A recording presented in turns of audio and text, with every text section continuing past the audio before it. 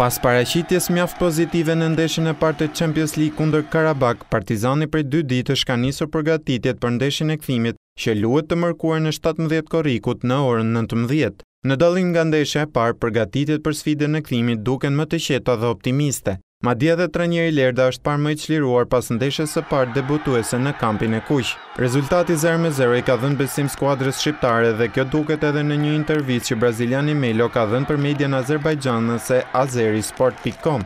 Ai është shprehur. Kam luajtur edhe vitin e kaluar ndaj Karabakut si pjesë e Kukësit në Champions dhe e njoh mirë këtë skuadër. Mund të them se nga paraqitja e skuadrës kemi parë atë që prisnim. Tani në Baku e kemi mendjen vetëm tek një gjë, të tregojmë futboll të bukur dhe të marrim rezultat të suksesshëm.